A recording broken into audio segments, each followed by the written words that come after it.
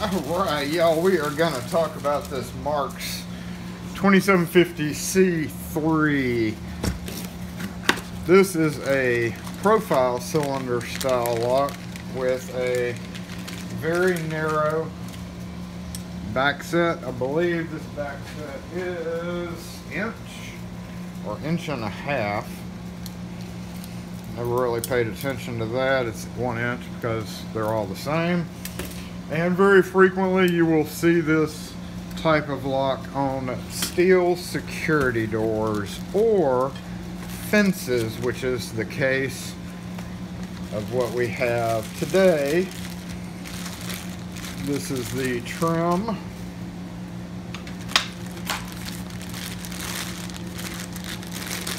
And we're replacing two on fences that somebody ripped off the fence. Uh, for probably because it was just rusted up. Now that is metal. Let's look at take a look at this. It's black coated metal. They don't really recommend you take these things apart if something goes wrong with them. It's pretty much FUBAR, but you do see screws on it, so could take it apart and mess around with it. Um, except when somebody rips it all off of a gate and this is twisted into pieces. Obviously at that point you would need to totally replace. Um, and depending on where you order these from, you need to be very cautious because let's just say some distributors are not like others and some distributors charge way too much for these compared to other ones like over double the cost which definitely can affect you if you had given the customer the price based on one distributor and then try to order it from another distributor and uh, it comes in without you finding out how much they charge and it is painful. So uh, this one is handable. You can switch the hand. I don't know on the gate whether they're upside down. A lot of times you'll see them upside down or right side up, either which way. Just depends on how they built the gate or the door. Um, so you loosen the screw of the spring latch. That's that screw right there. And about five turns and that lets this just basically come forward and then you turn it around and snap it back in and tighten the screw back. That's all there is to that. Now these use a profile cylinder with your cap screws so that you can rekey it. And in this case, this one is a different key, I think. And the other one, I've already, uh, I'm gonna have to rekey this lock to that other key so that the keys match because this is not the key that we're using this is just what comes with it. It's a AR1 Marks key. However very often you will also be able to use Kwikset keys in these to both rekey and copy the keys on. However, there is a little bit of a variance in the spacing of the key. So this one is usually follows the mark, if I remember correctly, usually follows the Marks bitting or the depths on the key. And when you key up a Kwikset key to the lock, it will not use like standard Kwikset depth, so you would not be able to use, say, a Kwikset pinning kit. You'd have to use a 003 kit or 005, which I'm not fond of 005, but you'd have to use a 003 kit. And um, because of the spacing, it, the pins are not going to ride just perfectly right. So it can be an issue if it's not keyed up well. So what I do on that is I'll dump all the pins out and pin up one chamber at a time drop a pin in try to turn it push it down and then once it clears then I'll go ahead and cap it check it again It's tedious, but once you do one side, you should be able to mimic it on the other side without having to do the one at a time thing. Or if you have a bunch more of these cylinders. So anyway, it is possible to do it to a Kwikset key. But otherwise, if you are just copying keys, always use your AR1 arrow key to make the copies on because it is indeed an AR1, just slightly different than a Kwikset key. Alright, so let's go put this on a gate. Target gate.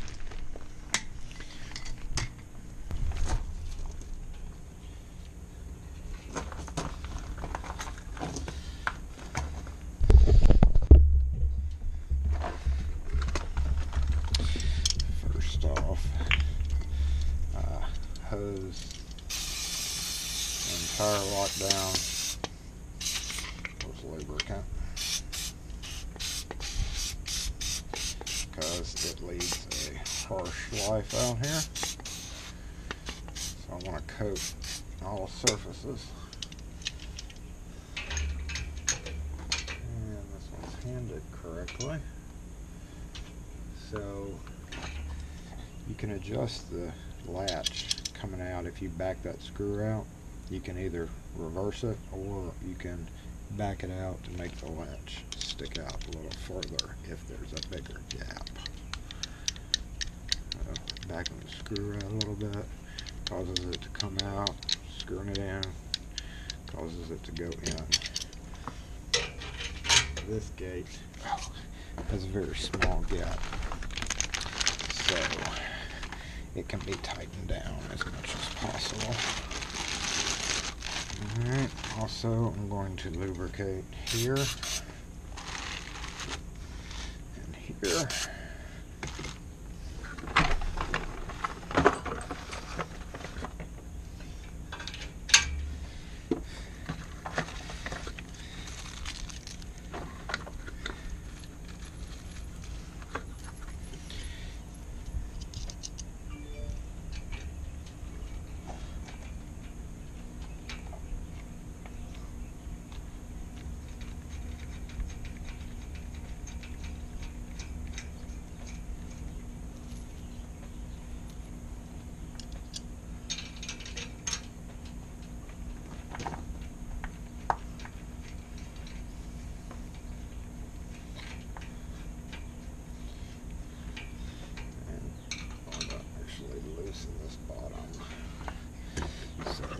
cylinder will go in, which I'm also going to hose off. And with, as with most mortise or profile cylinders, I want to spray those caps so they don't rust. But you have to turn the key because the cylinder won't go in otherwise. So when you turn the key, you can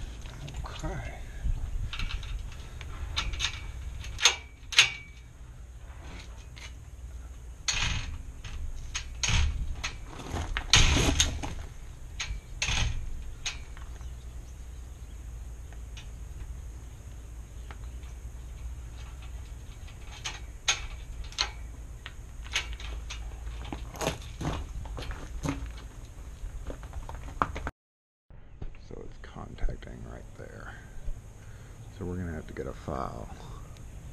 And that's because the gate's probably lowered. But we're gonna have to get a file and knock that off.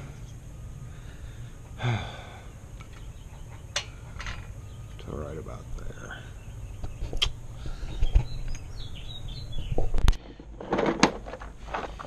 Biggest one I've got.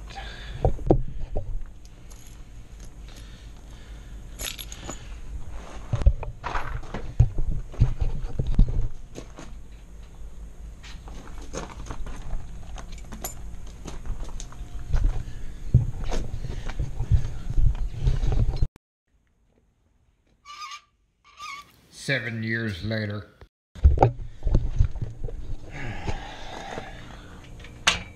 Yay.